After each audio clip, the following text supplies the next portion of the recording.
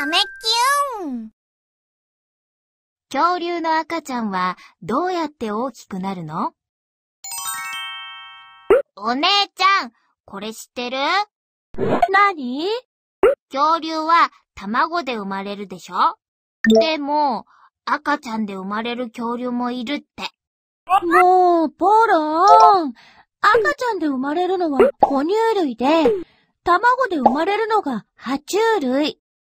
恐竜は爬虫類だから、卵で生まれるのよ。いい加減なこと言わないでよ。でも、魚竜は赤ちゃんで生まれるよ。イクチオサウルスを見てよ。お腹の中で卵を育てて赤ちゃんで生まれる卵体性なんだよ。えーそうなの？不思議ね。じゃあ、クジラみたいに赤ちゃんで生まれるんだ。恐竜の卵は他の恐竜に食べられたり捨てられたりしたらちゃんと帰らないから、魚竜のように卵で温めて赤ちゃんで産むのもいい方法だったみたい。そうだね。でもお姉ちゃん、卵で生まれた他の恐竜はどうやって大きくなるの？どうかな鳥みたいにお母さんがくれる餌を食べて大きくなるのかな？でも、卵を産むだけでじゃ、卵が壊れちゃうかも。恐竜たちは卵の世話をしなさそうだしね。何を言うの？私は一生懸命卵の世話をしているわ。うわ、びっくりした。誰？私は赤ちゃんを育てている良いお母さんのマイアサウラよ。良いお母さん？あははは自分で良いお母さんだって。マイアサウラは良い母親トカゲという意味なのよ。そうなの？そうよ。私は卵を産んで、母鳥のように卵を抱いて返すのよ。その後もずーっと餌をあげるの。でも、恐竜みんなが私みたいにしっかり赤ちゃんを育てるわけじゃないの。私がどれほど大切に赤ちゃんを育てているか。良い母親トカゲという名前なのもわかるでしょ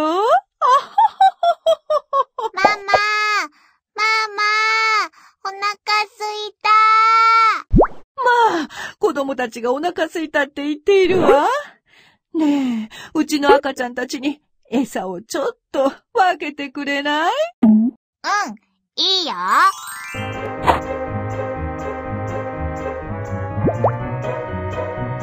いいぞ。いいぞ。よく食べるね。おいしい？よく食べるね。おいしい？よく食べるね。餌をもっとあげる？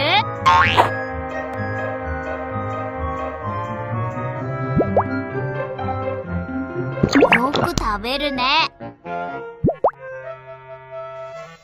おいしい？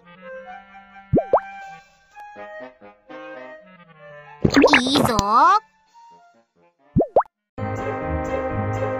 いいぞ。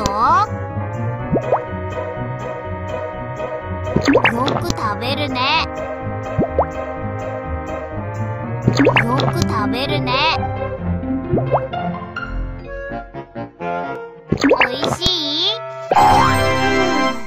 餌を全部あげちゃった。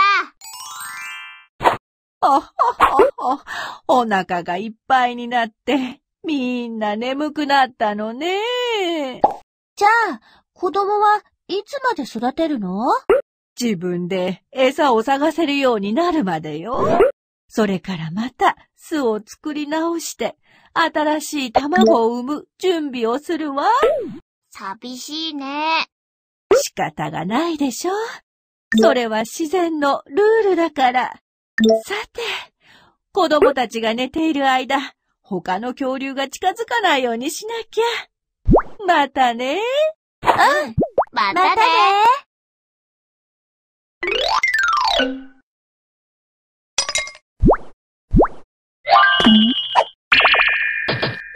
チャンネル登録してね。